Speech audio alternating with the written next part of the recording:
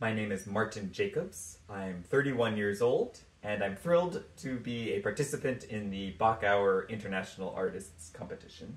I currently live in Montreal, Canada, but I grew up in New York City. I started piano at age four. My parents bought me an old but very large uh, 1885 Steinway with only 85 keys. And living in a New York City apartment, I remember being quite aware that all my neighbors could hear me practice. And this motivated me to play as beautifully as possible so we didn't get kicked out of the building.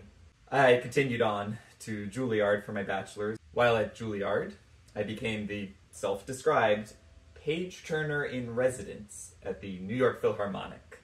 I was thrilled to be on stage with the New York Philharmonic over one shoulder while over the other shoulder, I intently follow the performances. My master's and doctoral degrees brought me to the University of Montreal. It's a wonderful place with great people, food, and of course, music. I have 26 piano students here. I play softball. I'm half of a two piano orchestra for a conducting seminar at the university. In the summer, I enjoy traveling to piano festivals around the US and abroad. Playing piano has been in my life as long as I can remember. In the pieces I play, the music must be mined for character and color.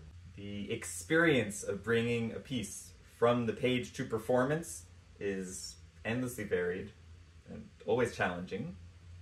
But in those challenges, there is reward and I look forward to sharing that experience and reward with audiences in Salt Lake City.